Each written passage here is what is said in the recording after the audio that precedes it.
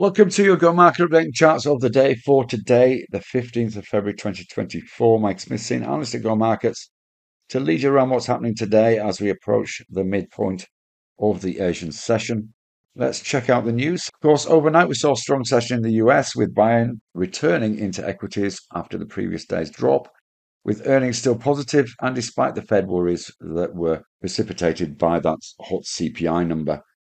We suggested yesterday that there may be some buying into the dip, uh, and that indeed appears to be what is happening. US futures, however, are a little flat in Asia in early trading.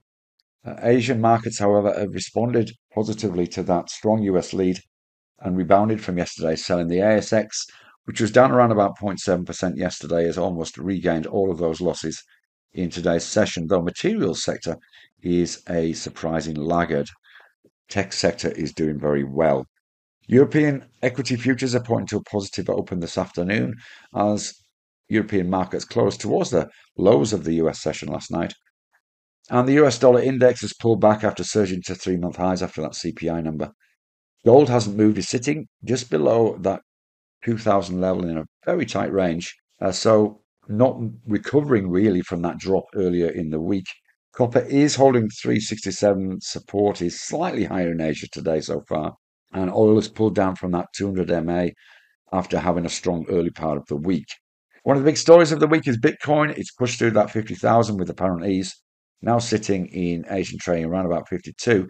Though we are noticing a little bit of a softness as the Asian session continues, which may be some profit taken in light of that significant move to the upside. A bit of risk coming off the table, perhaps.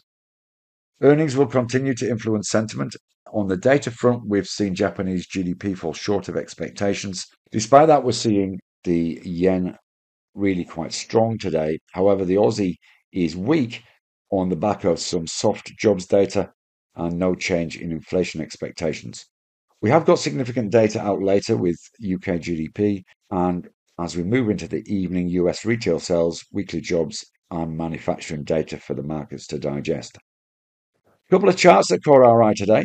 On the ASX, our chart of the day yesterday was seven group holdings, and you can see there we've pushed even higher today. Another move of in excess of 4% uh, subsequent to better than expected earnings. We're now at 40.50. We've got a $50 price target on this in the medium term, but even in the short term, a move up to $45 looks possible.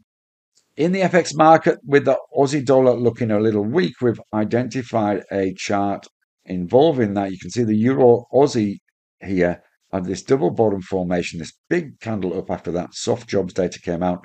But we've failed to breach this 165.56 level, which looks technically important. This looks like a relatively high probability trade, as we've seen this come straight down and straight up in the last, uh, and exactly the same at this point here, straight down, straight up, so it would suggest that if we do get a breach of this, then we could get a fairly high probability move of around about 25 pips to the upside. It could be a nice scalping trade to consider in the medium term as the day progresses. Then perhaps that 166 level is a potential target. Trade safe and see you again soon. Bye bye for now.